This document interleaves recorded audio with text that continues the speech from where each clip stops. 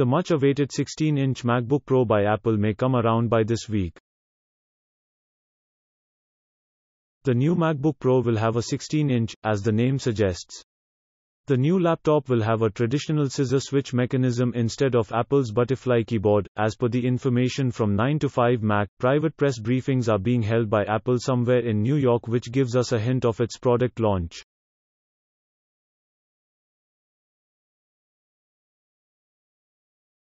The newer version of MacBook may come with 9th gen Intel CPUs and AMD GPUs.